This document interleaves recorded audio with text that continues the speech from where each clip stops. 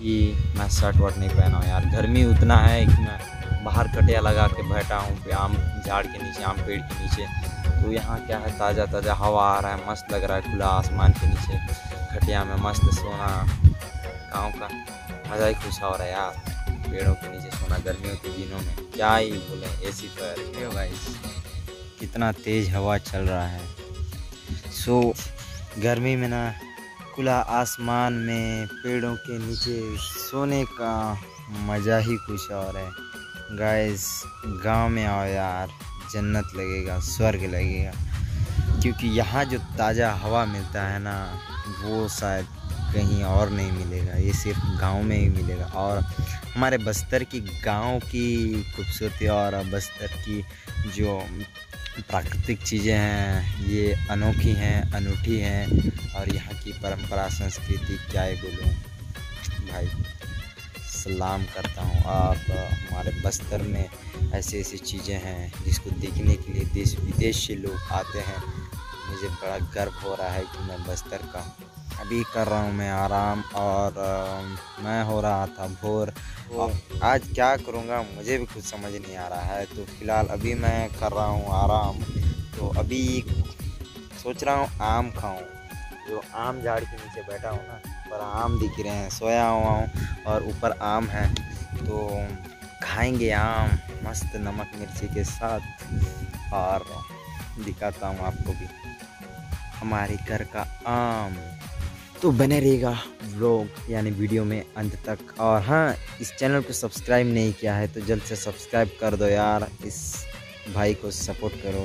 तो चलिए व्लॉग को कंटिन्यू करते हैं। मैं चाकू ढूंढ रहा हूँ दोस्तों मुझे चाकू नहीं मिल रहा है यार आम काटने के लिए। दीदी चाकू कहाँ से? चाकू कहाँ आज दीदी? चाकू। नहीं है।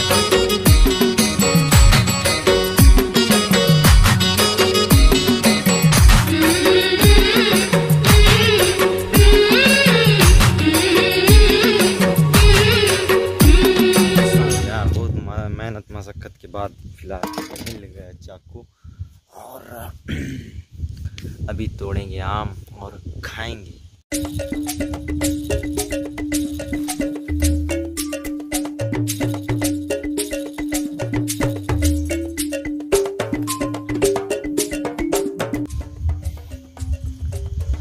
फाइनली हमने आम तोड़ लिया।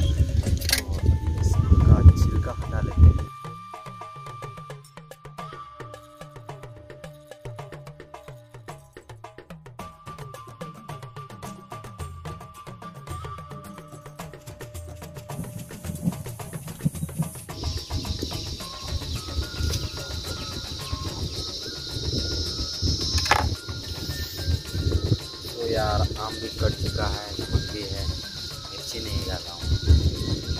खाली नमक के साथ अच्छा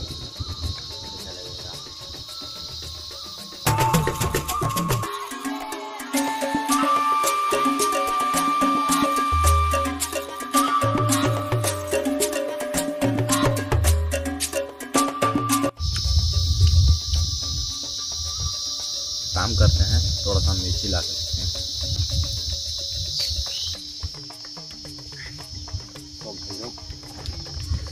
मिर्ची भी ला ली है अब नमक और मिर्ची के साथ खाते हैं आम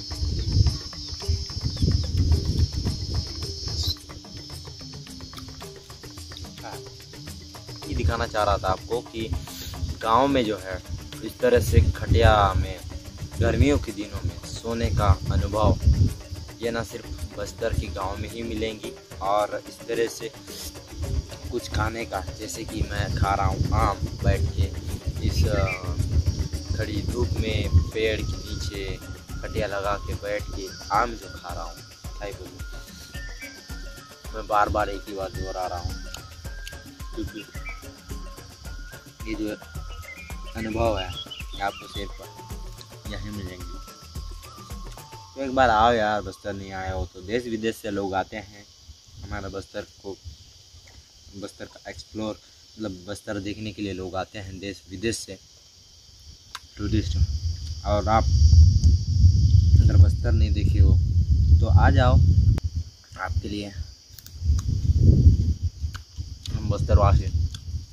हमेशा से तैयार है स्वागत करने के लिए। और आपको देखने और घुमाने के लिए।